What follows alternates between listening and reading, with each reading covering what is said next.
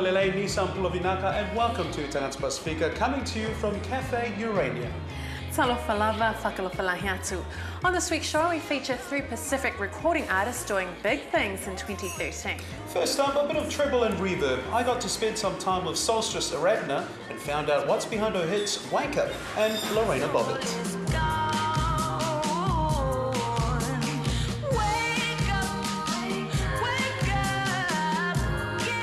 Out of bed and flexing her silky voice, Kiwi songstress Aaradhna is back, and she's not wasting any time.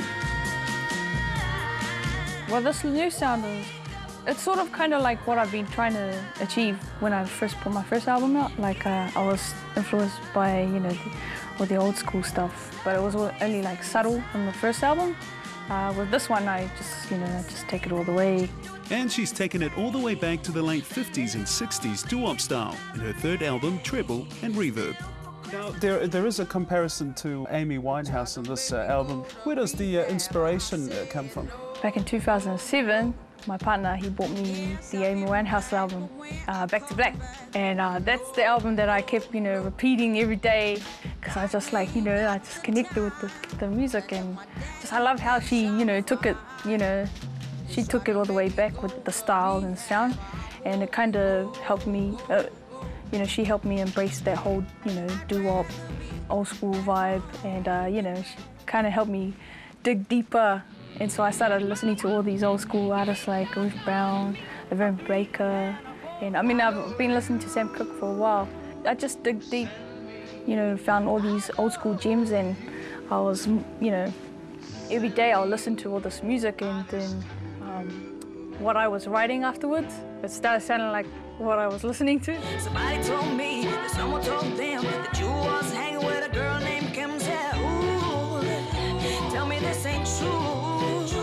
In this retro album, Aaradhna's been cooking up a mix of old school soul with contemporary attitude, influenced by love, broken hearts, depression, and even crime stories. Oh, well, of course I haven't, you know, you know, done what Lorena Bobbitt's done, but... Well, I did make sure that we hide all the knives in here, so... Uh, no, I mean, like, yeah, I've been cheated on before in my past times. Really crazy, you know, I do get angry, you know, like, any girl gets angry when, you know, they get cheated on, they'll get that angry, like Lorena Bobbitt angry, but they wouldn't, you know. I think most people wouldn't do what she would do, but I thought it'd be funny.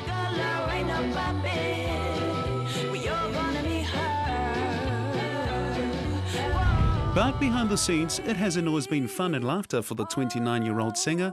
In 2008, she took a break from making music, unable to put up with the heat of being in the limelight. I was depressed about, you know, like some of the things that I was depressed about was, you know, the criticism, like from, you know, when I first started music. Um, I couldn't take all the you know, like the nasty comments that were said about me on, you know, YouTube or even in person, you know, I'll get some, you know, nasty people say some negative things to me and it would, I was a, I'm a really sensitive person, and, but like before then I was super sensitive, so I'd take it to heart and it, it really got to me.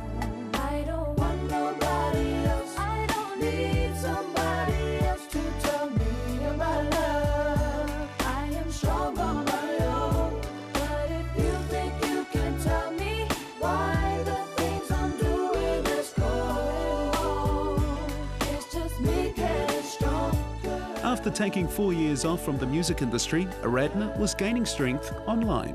When I was in Romania, this was in like 2000, late 2008, I made this YouTube page because I was really bored. I went over there because my partner was playing basketball and I was just bumming around, you know, doing the, the girlfriend thing. And so I was like, there's, you know, I was so bored that I, you know, I was still writing.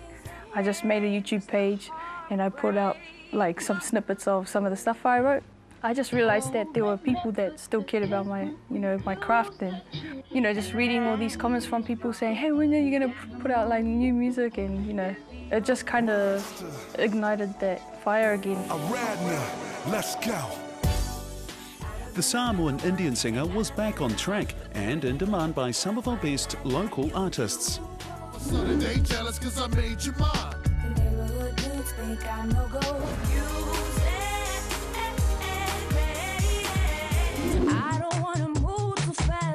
baby, because I like you. You find your comfort in between the sheets.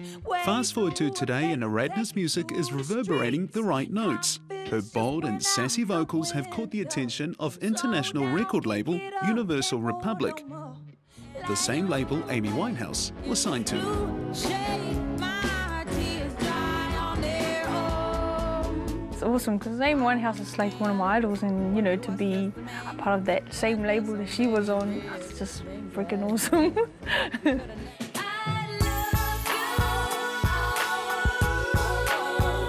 Away from the stage and the spotlight, Aaradhna's family are her biggest fans. My dad, nah, he's full, he's fully supportive, eh? He really, you know, he loves that I'm doing what I'm, you know, what I love doing, and he's, yeah, he's proud when he talks to me. He's like, you gotta, you gotta try a little harder. You know, he's just, you know, he's real, he's tough, but I know he means well. He wants me to, you know, do the best I can, and yeah. Secretly, they're proud of you, eh? But Yeah. they just want you to work even harder, eh? Have you heard of that girl, Lorena Bobbitt? We all gonna meet her. I don't think my mum knows who Lorena Bob is. She'll just laugh, but you know what? she wants me to do church songs, so it's like, hey, you should do that church song. She's like, no, she likes the album actually. She likes um, Keep My Cool because of you know she always does her little dance moves at home. But yeah, no, she's she's proud. She's happy. She just wants me to do some church songs too. Promise it won't always be this way. Oh, so let them fools believe that they cool.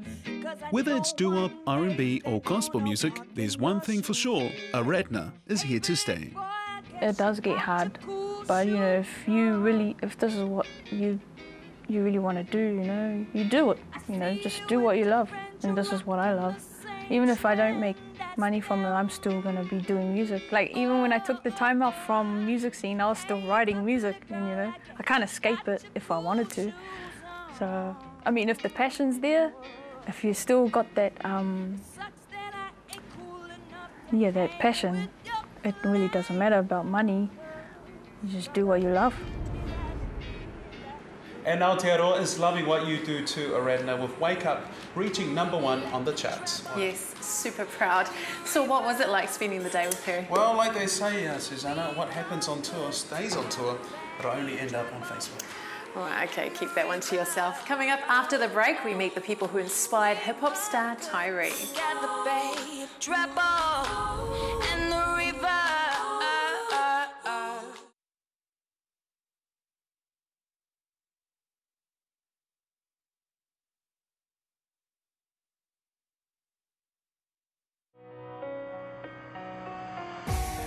Yeah, I came a long way from having nothing as a kid to hear my songs played, and from the streets that could have led this boy the wrong way to making something out of Welcome back to our Tagata Pasifika music special. Hip hop star Tyree has been in the music business for some time now. He's one third of the top selling hip hop group Smash Proof. But he's going solo for the second time with his new album Motivation, which is being launched this weekend. Susana met the people who inspired Tyree. Make the most. That's why I want it all before the day I turn ghost. Even though the finish line seems far, I'm so close. What a journey it's been for Tyree. He hasn't always had it all. The hip hop artist released his own solo album in 2006 called Now or Never. He's also one of the original members of Smash Proof, whose debut single Brother broke the 23 year old record for the most consecutive weeks on the New Zealand singles chart at number one by a New Zealand artist in 2009. The song going double platinum. Turn your back, and you went away. It's making me crazy. I feel so alone. Why did you turn your back? Why did you go away? But before breaking into the music industry, it all started back in the classroom of his Papatoetoe High School in 2002. Tyree's music teacher, Miss Saunders, is still here. In the beginning, he was so shy. He would hold the mic out, you know, this far away, and he would look down. He was just very humble, but you know, he always knew that he had it, but he was a bit reluctant to share. Kirsten Saunders, you know, I still go back there and call her Miss Saunders. I can't, it just feels weird if I call her Kirsten, you know. She's such a special lady as well, you know. She's she's always been there for me, you know. Um, mentally, you know, she's just helped me along the way. It was under the guidance of Miss Saunders that he created his first song. Look at that, 60 talk, 60 talk. I remember being in exams and I wasn't even, like, I would be playing with my hair, you know. My mind wasn't there, I was thinking about music, humming tunes, like uh, trying to trying to make choruses. She would always just just let me go into the music room and do my thing, you know, and just let, let me be me. This is young Sid back in the day. It was young. Yeah. Outside of school, one of his earliest teachers, his grandmother.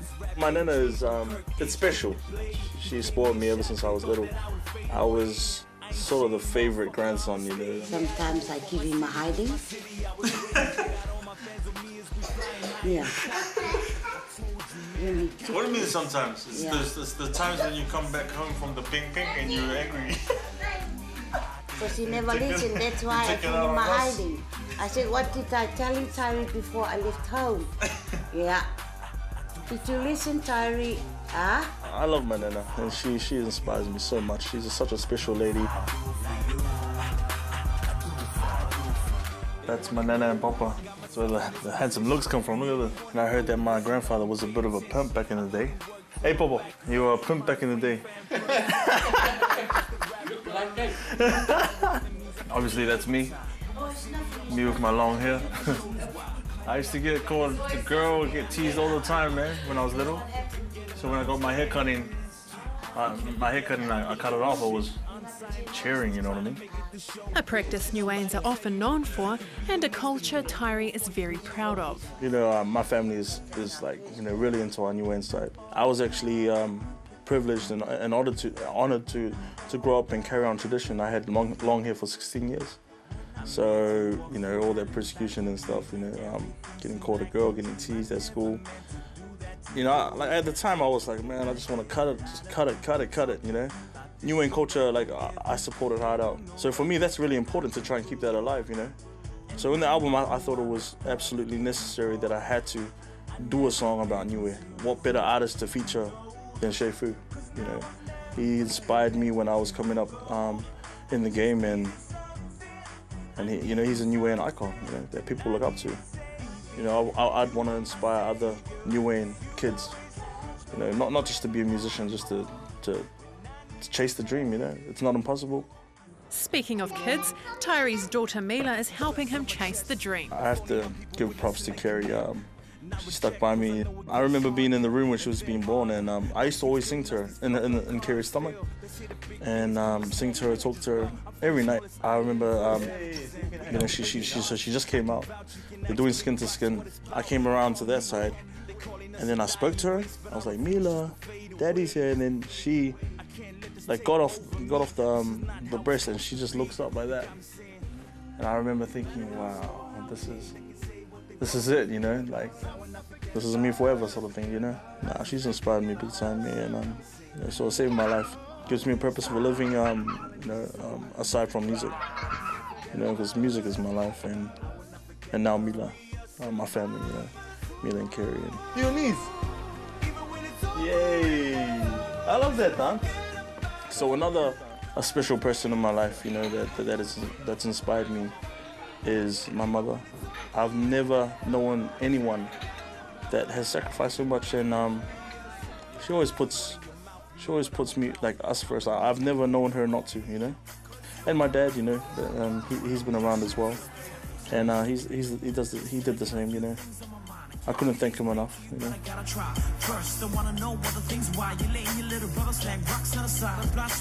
People don't know, but Smash Proof is actually not just a rap group, you know. We're family. We like we hang out every day. It's that family support that's motivated Tyree to create a second album due out this month. This is this is just more than music to us, you know. It's more than music. It's it's family. The title of it is motivation. So um, all the songs are you know uplifting. reason why is because um, there was a period in my life where you know I wanted to give up music. I moved over to Australia and um, I sort of loved the lifestyle over there. You know, I was losing losing the passion, sort of thing. Hey, it wasn't until all the work that we did with Smash Proof took off, and it sort of like you know helped me get back into things. You know, um, music industry is very hard. You know, and um, to make a living uh, of music is, is you know, it's just, it's, a, it's just a constant grind, you know, and um, you got to be out there gigging because that's pretty much our, our main income, and um, that's why I, I named the um, the album Motivation. You know, I wouldn't be here if it wasn't for you know the likes of my, my parents, you know, my nana, my daughter, uh, my partner. Enough motivation to ensure Tyree does have it all.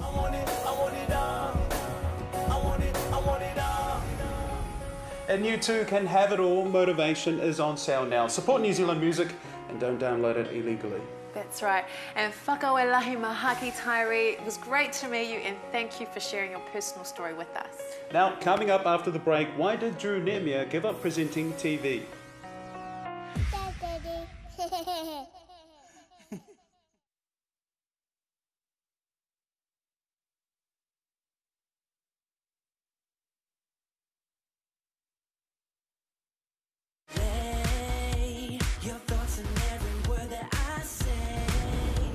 Welcome back to Tagata Pasifika. Drew Ne'emia is probably best known for being in front of the camera interviewing pop stars. Let's find out why he's given it all away to find his own harmony. The most of what we got right now and take that sexiness you got right now and live, live. It's what you need. He's the guy who had it all the TV show, the fame, and the money. Yet, he gave it all up. Drew Ne'emia had a burning desire to be a star. He's no stranger to our screens, fronting on mainstream TV, asking questions to the rich and famous. Look who's in the studio with me. I told you, New Zealand, you didn't believe me that Justin Bieber was coming in. Now it's his turn to be on the other side. Do people recognise you as Drew the uh, TV presenter or as Drew the muso? Because I've been presenting for so long, it's been for, I mean, over seven years or whatever now. Um, I think, you know, it's kind of hard not to see me as a presenter. And, uh, and because the, the music is still very fresh and new, people are only just sort of coming to terms with that. A lot of people don't even know that I, um, you know, that I used to sing, but that's what I used to do before I even got into presenting. The Samoan Kiwi pop singer got a taste of showbiz from the age of three, featuring in television ads, drama series, and even talent shows. Walks up and says, What do you know? It's off to the principal's office you go. His love of performing was discovered at a young age. Dad used to have a camera back in the day, and so I was always in front of it trying to perform. And or uh, and our mum said that you know when I was really little, I would I was always just singing um, to random strangers and stuff like that. And so they just thought, oh, why not? You know, he likes to to be in the limelight, so why not give him a shot? with those angel And he owes a lot to his parents. Music is in their blood. Mom was a working musician for over 30 years, and his dad still performs around Wellington. every weekend rehearsals in the garage and so Drew's been singing since he's like this high. And um, so to him it's just second nature because that's what he thought everybody did. No, we're really proud of him, and um, we just wish him the best in, in what he's trying to achieve, and um, that's about all he can do, really. By the age of five, Drew was hooked. Competing in talent quests, he aspired to be the king. wanted to be either Michael Jackson or Elvis Presley because those were the, the two artists that I used to sing all the time, especially in talent quests. Yeah, my first talent quest I sang Elvis Presley. What song? Uh, All Shook Up. I was lucky enough to win that one as well. um, and uh, yeah, then uh, another talent quest um, I did uh, Michael Jackson Bad. But um, yeah, I just always looked up to those sort of guys. With inspiration from his idols, Drew finally got his big break in 1997, starring in the McDonald's Young Entertainers as one of the Super Troop. I I was uh, asked to be a part of the pilot of the show, singing Elvis, and yeah, they said, you know, this is what the show is going to be, and you know, um, would you mind coming on and singing a song, just to you know showcase New Zealand stuff, and um, and yeah, so I went and did that, and then they they called me back They kind of put us through our um, our paces. Really, they uh, they made us do like a massive dancing workshop, and then then it was straight into vocal lessons, and, and so everyone was assessing us the whole time. And then um, then you had to do like a solo performance. And yeah, it was It's kind really of it was, boot camp it was kind of grueling. Anything you can be, I can be greater. Sooner or later. The hard work paid off. The show received high ratings and it ran for two years. No, you're not. After years of being in front of the camera, Drew wanted to work behind the scenes. He enrolled at broadcasting school and soon landed some roles presenting on children's television. Look out for this guy because he's going to be number one in the world. He even had a show named after him. Am I on TV? Drew was back on screen. I mean, that was definitely um, such a bonus with uh, with that job, getting to meet all those artists. That, that's something that I'll never forget, you know. You're living And- the dream, eh? Yeah, well, you're meeting your, the people that you look up to, that you know you aspire to be like, which is really cool. Like uh, 50 Cent. I'm far from perfect, there's so many lessons I done learn. If money's evil, look at all the evil I done earned. Like I grew up in college listening to his music, and I think that was probably the most uh, nervous I've ever been in an interview. But obviously, you've got to hide all that, and you got to put the fan away and just and, and, and just talk to them like a normal person. Drew Ne'emia was living the dream, but it came with a price. A popular youth TV presenter has caused outrage on Twitter after sending an abusive message to two teenagers. I think that you know the, the best thing to do is to not let those people get to you. I mean, that's just you know kind of a given. You know, It- it- what what they want you to do is to retaliate. What they want you to do is to to stop or you know to give up. And if anything, that just gives me more more motivation. You know, I say that to anyone out there. You know, if anyone's trying to tear you down, you just keep going. Don't let anyone stop you. And it hasn't stopped him from chasing his dream. What keeps you going? I've got a lot of support from fans out there, which is really cool. You know, like and, and just it's, you'll be surprising, like even like uh, like messages on Twitter or whatever so, from someone saying I love your music, and that actually just makes your day. You know, to know that someone or someone saying oh I'm listening to your song now, it's at the gym or it's giving me motivation or whatever. Like that, that's that's kind of why I love to make music and and keeps you going. And, and definitely my family, um, family and friends. Uh, yeah, because I wouldn't be anywhere without them. Drew's proud of his Samoan heritage. Could we be expecting a Drew Ne'emia Samoan version of a of a pop song or something? Could that be something in the pipeline? When I was young, I used to, um, Dad used to sing to me, like, he used to sing to all of us kids before we went to, to sleep, and uh, he used to always sing for Nae to, um, to, to me when I was a little boy. And uh, yeah, man, I'd, I'd love to do a, a, Samoan track, that'd be awesome. I can see it already. Yeah. It'll be Samoa's greatest hits. Man, I love that place. Like I've gone, I've gone back there quite a few times now as well, and it's um, yeah, it's beautiful. Yeah, I think it's important to, to go back and get in touch with your roots. It was cool. I went when I went to when I went back um, a few times, a few years ago. I um, went to Vailima where where Dad was born, and yeah, it was it was, was kind of trippy. and with two singles under his belt, he's proved music is where his heart is. Yeah, like I mean, I don't know if I'm safe right now.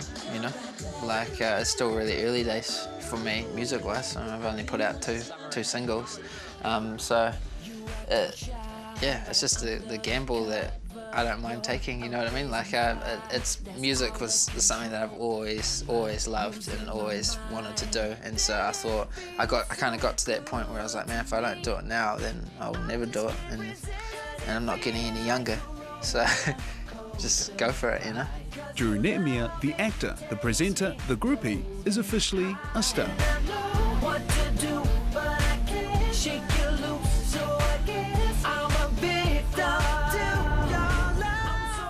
And Drew is well on his way to fulfilling his musical goals. Well done. And all the best too to Aaradhna, Tyree, and Drew on your musical journeys. And a huge thank you to Aaron from Cafe Urania for allowing us to use this beautiful space today. That's our show for this week. Join us next week when we return to normal programming. Until then, You're amazing. No, you are. No, you're No, amazing. no. You're amazing. This is amazing.